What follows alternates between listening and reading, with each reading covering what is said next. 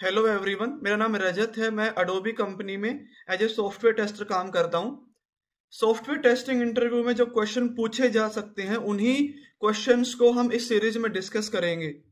इस interview series का पहला वीडियो है हमारा why do you want to pursue your career in the field of software testing ये किसी भी सॉफ्टवेयर टेस्टिंग इंटरव्यू का पहला क्वेश्चन हो सकता है। कि आप अपना career as a software tester क्यों देखना चाहते हैं? सो so, उसका आप मल्टीपल्स रीजन आप दे, दे दे सकते हैं। कुछ पॉइंट मैं यहाँ पे आपको बता देता हूँ कि सॉफ्टवेयर टेस्टिंग के लिए सबसे पहले जो रिक्वायरमेंट होनी चाहिए किसी भी पर्सन के अंदर वो है कि आपके पास ऑब्जर्वेशन स्किल हो इन्वेस्टिगेशन स्किल हो। इससे क्या फ़ायदा होगा अगर आपकी पास ऑब्जर्वेशन स्किल्स और इन्वेस्टिगेशन स्किल अच्छी हैं? सो so, आप एक सिस्टम को एक प्रोडक्ट को अच्छे से इन्वेस्टिगेट कर सकते हो, अपनी ऑब्जर्वेशन वहाँ पे दे सकते हो, और वहाँ पे आपको डिफेक्ट या बग मिलने के चांसेस बढ़ जाते हैं। दूसरा, आप यहाँ पे पॉइंट दे सकते हैं कि आपके अंदर लॉट ऑफ़ पेशेंस है।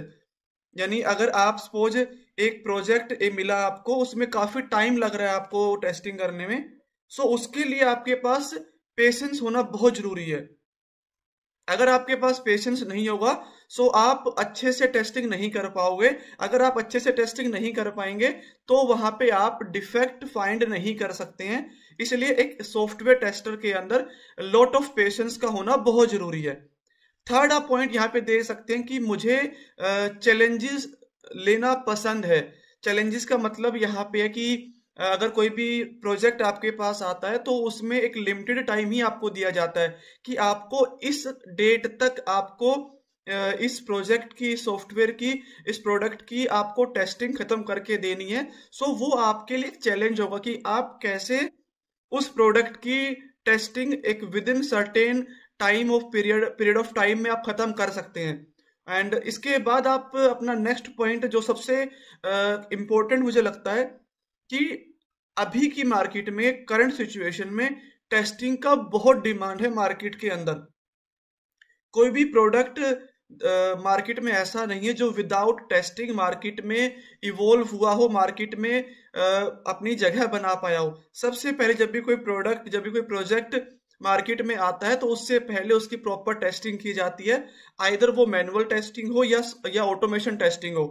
आने वाले टाइम में ऑटोमेशन का ऑटोमेशन टेस्टिंग का टाइम बढ़ेगा इसका चांसेस बढ़ेंगे बट ऐसा नहीं है कि मैनुअल टेस्टिंग का जो चांसेस है वो कम हो जाएँगे। कहीं पर भी आप चले जाओ, वहाँ पे आपको जितनी रिक्वायरमेंट आपकी ऑटोमेशन टेस्टिंग की होगी, उतना ही रिक्वायरमेंट वहाँ पे आपका मैनुअल टेस्टिंग का भी होगा। सो हम ये कह सकते हैं कि टेस्टिंग का डिमांड है मार्केट के अंदर। इस वजह से भी मुझे चूज़ करना है सॉफ्टवेयर टेस्टिंग के अंदर अपना कैरियर एंड दूसरा इसके बाद अगर आप देना चाहते हैं कि जब भी कोई सॉफ्टवेयर मार्केट में आएगा अगर वो प्रोडक्ट अच्छा होगा अगर उस पे आपने टेस्टिंग की होगी सो आपको एक काइंड ऑफ़ सेटिस्फेक्शन मिलेगा उससे कि हाँ इस प्रोडक्ट पे मैंने काम किया था, इस पे मैंने ये बग ढूंढे थे, इस वजह से ये प्रोडक्ट इतना अच्छा काम कर रहा है क्योंकि मैंने अच्छे से टेस्टिंग की थी।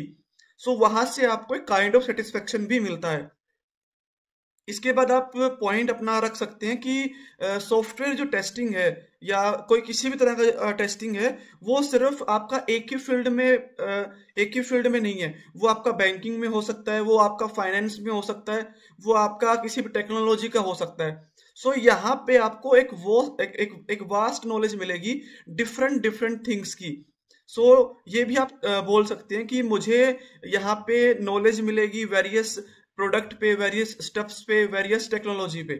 सो so, ये डिफरेंट डिफरेंट आप पॉइंट्स अपने क्वेश्चंस अपने आंसर में आप दे सकते हैं जो मैंने आपको बताया। अगर आपको पूरा क्वेश्चन का आंसर चाहिए सो आप ये क्वेश्चन का आंसर यहाँ पे देख सकते हैं। मैंने पूरा यहाँ पे आपके लिए लिख दिया है।